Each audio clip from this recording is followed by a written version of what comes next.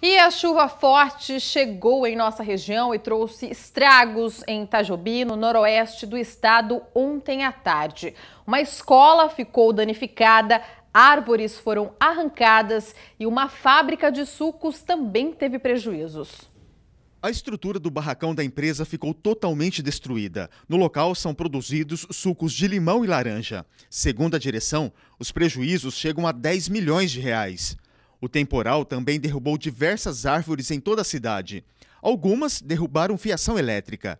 O vendaval arrancou também o telhado do almoxarifado municipal de Itajobi e jogou a estrutura a uma distância de 10 metros. O temporal atingiu também a Escola Municipal Madalena Carpe Beguiato, que atende 135 crianças com idades entre 3 e 5 anos. Parte do forro de uma sala de aula cedeu e algumas telhas foram arrancadas pelo temporal. Além disso, uma árvore caiu no pátio da escola. Por sorte, ninguém sofreu ferimentos durante a chuva na cidade.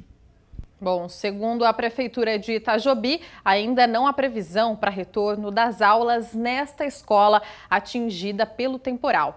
Parte da cidade ainda está sem energia. A empresa responsável pelo fornecimento informou que todas as equipes estão trabalhando para restabelecer a energia para todos os clientes.